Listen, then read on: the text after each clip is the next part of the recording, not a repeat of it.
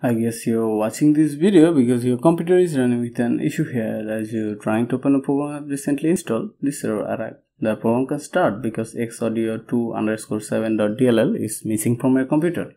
It's a somewhat critical error and all you need to do is watch this video without skipping and follow that method on your computer. Hello everyone, welcome to Tech Evolution. In this very short video, I'll be fixing this error within 3 minutes. So let's get started. The first thing you need to do is open your favorite browser and search for xaudio2 underscore 7.dll. You can choose any result you want. In this case, I'll be choosing the first one. It's not sponsored, but I'll put the link in the description. You can see few download option based on the architecture and version. To know your computer architecture and version, click on start and search for system information. Here you can see mine is a 64-bit PC and I'm updated to the recent Windows update so in this case I'll be downloading the first one. I strongly recommend you to read this page, it has other fixing method also in case if you need this. As the download complete, hit open.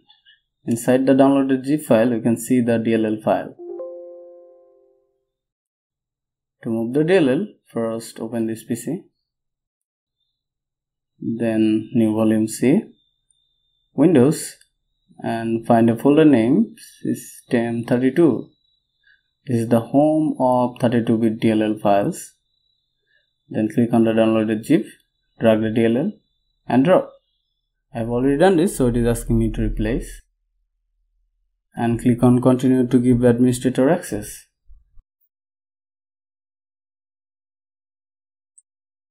Before we go ahead let's check.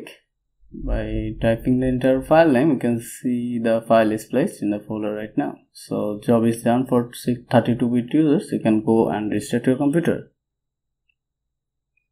If you are a 64-bit user you need to do a little more. Open this pc one more time. Then new volume c. Windows and this time find a folder named syswow64 this is the home of 64-bit DLL files and similarly drag and drop. In short 64-bit users need to place the file in both 32-bit folder and 64-bit folder. Check this one more time.